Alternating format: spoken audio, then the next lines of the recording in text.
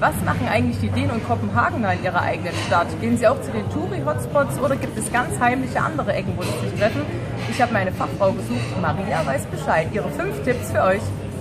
Hej, jeg hedder Maria, jeg bor i København, og her er mine fem tips til, hvad en dansker laver i sin hverdag og møder folk. Øh, mit vedkommende er et fodboldstadion, hvor du altid snakker med folk ved siden af, og alle mine venner, størstedelen af mine venner er derfra, så har vi de forskellige food streets, i, som ligger rundt i hele byen, mad og drikke, og folk taler med hinanden, og det kan godt være.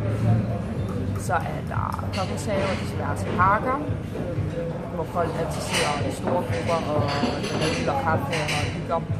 Så er der selvfølgelig Tivoli, øh, som hver fredag har en øh, fredagsrock, hvor du kan møde øh, og høre forskellige øh, art øh, musikere.